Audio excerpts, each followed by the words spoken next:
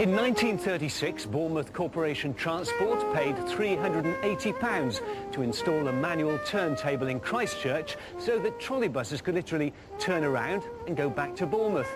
Well, today, this is all that remains of a transport system that flourished for 36 years.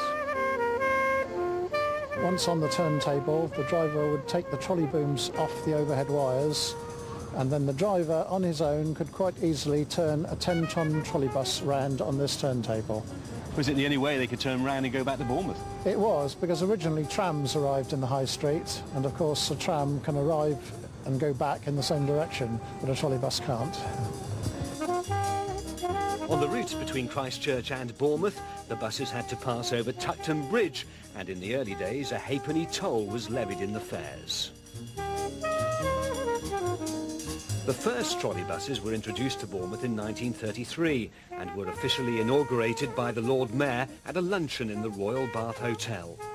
By 1951 there were 127 vehicles on the road, but that number rapidly declined in the 60s.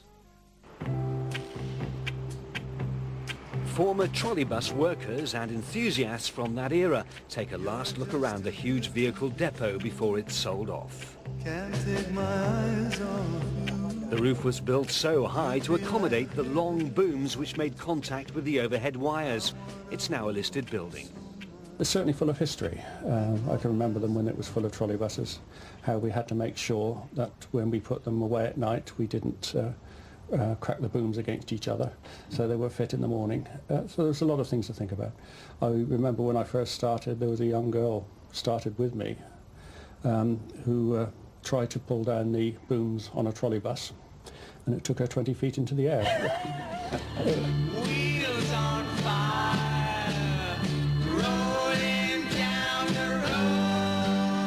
Well, they were quiet, they were free from fumes, and the public liked them. And Bournemouth was one of the last six undertakings in Britain to be operating trolley buses.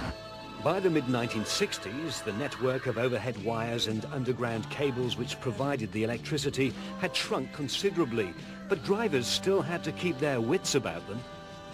If your head was in inside the wire, they were going along, you knew very well that the sticks were safe. They had a lot of starting power. When we used to go from the square to straight up Richmond Hill, as used to be, they used to climb up there at 20 mile an hour you try and get a motor bus to go up there nowadays with quite a few people on, it was um, it would be quite a bit difference. Some people say there used to be electrical smell, but if the driver started noticing that, then it was a case of um, sending for a sending for a vehicle change. And sparks would sometimes fly if a trolley bus went too fast through a junction. What was the worst thing that could happen to a driver driving a trolley bus? Well, I suppose the worst thing is the trolley booms coming off, which uh, did happen, yes. Then the conductor would have to get out his long bamboo stick with a hook on the end and put the trolley back on the wire. But the trolley bus's days were numbered.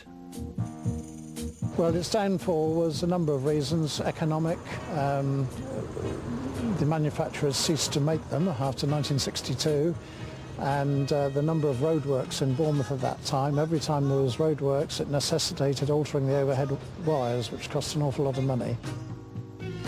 The last trolley buses were in 1969 on the 20th of April when there was a grand finale of a procession of 17 trolley buses and it was, it was amazing really to see the number of photographers along the roads on that day. I think most of Bournemouth's uh, population liked them and they were sad to see them go. More than sorry in one way, but day they went I was made an inspector.